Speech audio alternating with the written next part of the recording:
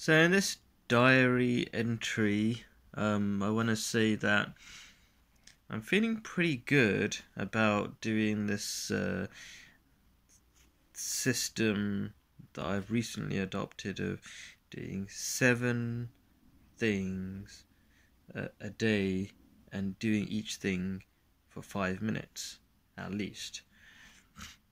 Or even one of them I just did for about one minute, but I was still happy that I did it briefly. Um, so yeah, it makes me feel uh, that I've had a perfect day basically, even though I haven't done one of them. Uh, that's because I didn't look at my checklist. I haven't absorbed my list yet, so and it's too late because I don't work after evening prayers because it disturbs my sleep.